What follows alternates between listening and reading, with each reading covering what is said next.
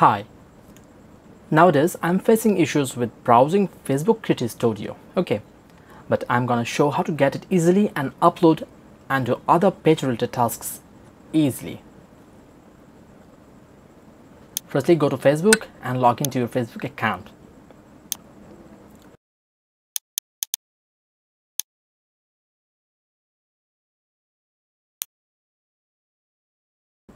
Then simply type facebook.com slash creator studio and enter.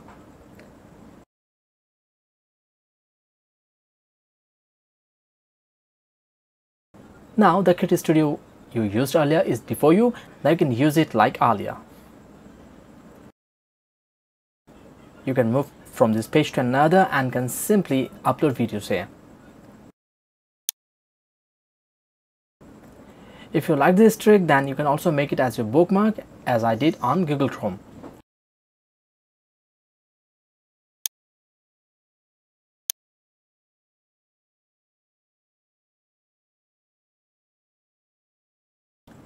And I hope you like the video trick on Facebook page and please subscribe to Joseph IT.